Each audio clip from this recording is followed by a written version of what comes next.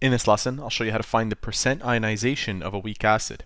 The question reads, find the percent ionization of a 2.5 molar HNO2, which is a nitrous acid solution.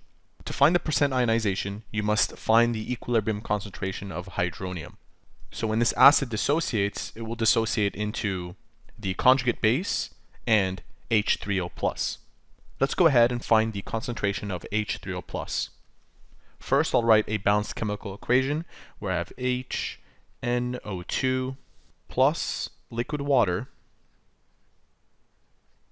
and this is aqueous, yields, as mentioned, the conjugate base, which is the anion of this molecule. So NO2 minus, because it has donated a proton to H2O, and that becomes H3O plus.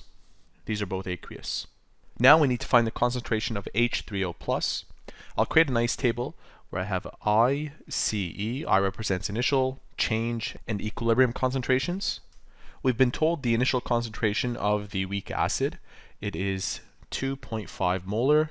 We don't need to worry about H2O because that's not part of the equilibrium expression anyway, since it's a liquid. Given that HNO2 is a weak acid, we will form very little H3O+, so I'll write down approximately equal to 0, and the concentration of NO2 minus at the very beginning is 0. Next, I'll write down the equilibrium expression in reference to the acid ionization constant, K sub A.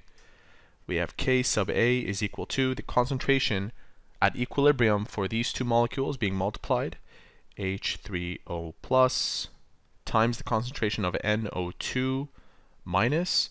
Now keep in mind that this equation needs to be balanced, and it is balanced. So when you do a problem like this, you have to be certain that it is balanced before you can write this expression out. Over the concentration of HNO2 at equilibrium. So we can substitute in K sub A, that's given in the question, 4.6 times 10 to the power of negative 4.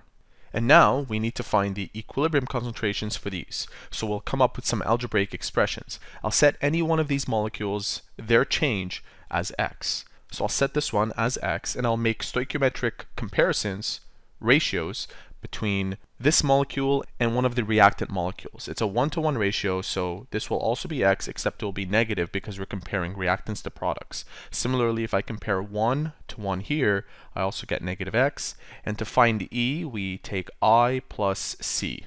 That's always equal to your equilibrium. 2.5 plus x is 2.5 plus x. 0 plus negative x is negative x, and 0 plus negative x again is negative x. I'll substitute these expressions in where they belong in this equilibrium expression. So, negative x times negative x gives us x squared. So, x squared at the top and at the bottom I'll write down 2.5 plus x is equal to 4.6 times 10 to the power of negative 4 we need to solve for x because once we do, we can substitute it back into this expression that's highlighted and find out the equilibrium concentration for H3O+. Then from there, we can find the percent ionization. I'll multiply both sides by 2.5 plus x, and by all means, since k sub a, this number, is really small, there are times where you can completely ignore this x and pretend that it doesn't even exist. But I'll take the honest route I'll multiply both sides by 2.5x. Look what happens. This expression and this expression completely cancels out, leaving you with x squared on the right side. At the same time, I'll take this x squared to the left side so that I have an equation that is quadratic on the left side and 0 on the right side. So after taking this x squared over, we have 0 on the right side. And on the left side, we have negative x squared, but this part right here needs to be expanded into the expression to its left. So 4.6, let's use your calculator.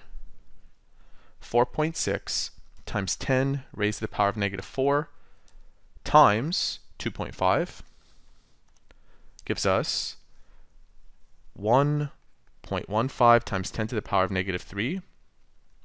Again, this number times x is itself with the x multiplied to it and minus x squared. As mentioned earlier, this is a quadratic equation, Because it has a degree of 2 right here. As a result, we need to use the quadratic formula. I'll expedite this process by using a function on my calculator by clicking mode, 5, and 3. I'll substitute the coefficients in for a, b, and c. The coefficient for a is negative 1, so negative 1. The coefficient for b is 4.6 times 10 raised to the power of negative 4. And c is the constant of the quadratic, the constant being the term that's not being multiplied to any variable. So it's this one. We end up with two answers. One that's 0.0341, 0.0341. I'm going to omit this one. This is incorrect and I'm going to explain why. And the other is negative 0.0336. I'm going to accept this one only because if you substitute that number back into this expression, negative x, you end up with a positive output. So pretend you multiply this number by negative 1, you get positive 0.0336. So let me write that down. The hydronium concentration is positive 0.0336. Now because our K sub A had two significant figures, our answer should also have two significant figures. So this 3 becomes a 4. We should have 0.034 molar. Now, the purpose of this exercise was to find the percent ionization. So at this point, you take this number and you divide it by the initial concentration of the acid. And that was given in the question as 2.5 molar. So we divide these out, multiply them by 100%. Let's see what happens. 0.034 divided by 2.5. And if you want, rather than using the rounded version of this answer, to be more accurate, we can actually use the unrounded version and then round at the end to two significant figures. So I'll do that instead. That gives me 0.013 times 100%. Now to two significant figures, that is 1.3% ionization. And there you have it. That is how to find the percent ionization of a weak acid.